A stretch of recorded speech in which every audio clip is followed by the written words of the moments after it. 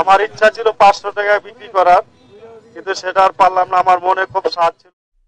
রমজানে পাঁচশো পঁচানব্বই টাকায় গরুর মাংস মিলবে খলিলের দোকানে।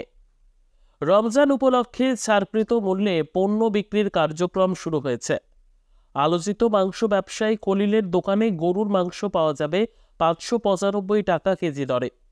মঙ্গলবার বারোই মার্চ সকালে রাজধানীর শাহজাহানপুরে খলিল গোসদ বিতান থেকে এই কার্যক্রমের উদ্বোধন করেছেন ভোক্তা অধিকার সংরক্ষণ অধিদপ্তরের মহাপরিচালক এ এইচ এম শফিকুজ্জামান।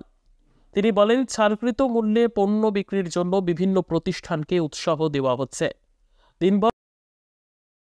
সাধ্যের মধ্যে অরিজিনাল ব্যবহৃত ল্যাপটপ কিনুন, নিজের শখ পূরণ করুন। কুমিল্লা কান্দিরপাড়ের খন্দকার হক টাওয়ারের চতুর্থ তলায় অবস্থিত কিং অফ ল্যাপটপ সলিউশনে পাচ্ছেন বিদেশ থেকে আমদানি করা সকল ব্র্যান্ডের অরিজিনাল ল্যাপটপ স্বল্প দাম আর শতভাগ অরিজিনাল ও গ্যারান্টি ওয়ারেন্টি সহ ল্যাপটপগুলো দেখতে আজই চলে আসুন।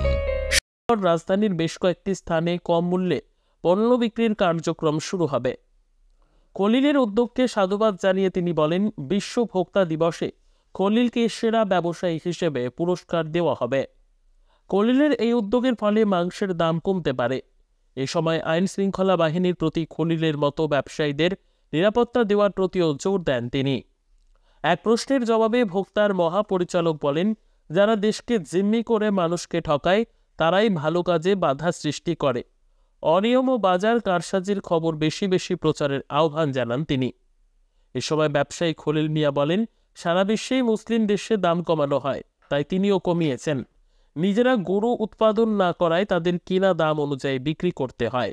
কত দামে মাংস বিক্রি করলে ক্রেতা বেশি হয় বলেও জানান আলোচিত এই মাংস ব্যবসায়ী। মুবাই পাল নিউজ প্লাস।